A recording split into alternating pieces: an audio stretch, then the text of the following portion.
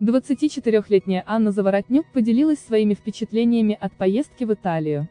Ее рассказ вызвал бурное обсуждение поклонников.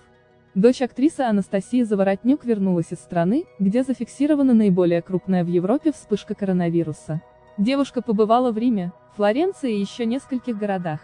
Они впечатлили ее своей красотой. Особенно впечатление на Анну произвели исторические памятники.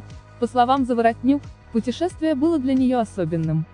Тяжелый период ей удалось почувствовать себя немного лучше и насладиться красотой окружающего мира.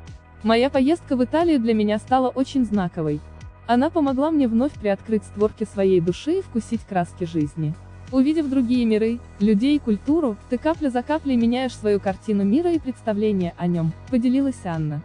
В комментариях «Звездной дочери» разразилась дискуссия по поводу того, стоит ли сейчас выезжать за границу.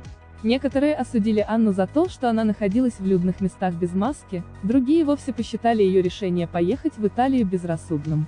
Очень вовремя в Италию поехала, еще в Китай надо, самое ж время для путешествий, чего нет, а как же коронавирус? Кого-то ждет карантин на две недели, написали фоловеры. Однако Анна сообщила, что посетила страну до эпидемии. Многие фанаты также поинтересовались состоянием здоровья Анастасии. Дочь актрисы не стала вдаваться в подробности, но сказала, что они все молятся и борются за ее скорейшее выздоровление. Ранее Анна призналась, что испытывает сильный стресс. Она впервые открыто рассказала о своих переживаниях из-за болезни матери. Актриса отпраздновала день рождения старшей дочери в больнице.